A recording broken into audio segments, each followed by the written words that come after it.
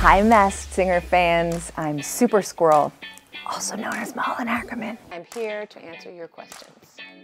So let's go. What was your initial reaction when you were chosen for the show?